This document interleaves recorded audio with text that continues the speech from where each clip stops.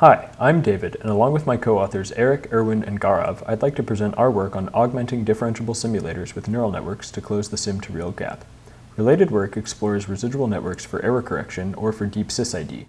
Our new physics engine uses neural networks internally as replacements or residual corrections to any scalar quantity. We present experiments on real-world sysid problems using gradient-based optimization to estimate the initial velocities, link lengths, and inertial properties of a chaotic double pendulum system. We augment an analytical model with neural friction forces and demonstrate convergence against a classical nonlinear complementarity-based model. To overcome poor local optima and exploit available computer hardware, we use a parallel basin hopping optimization strategy. Please view our open source code at the available GitHub link. Thank you.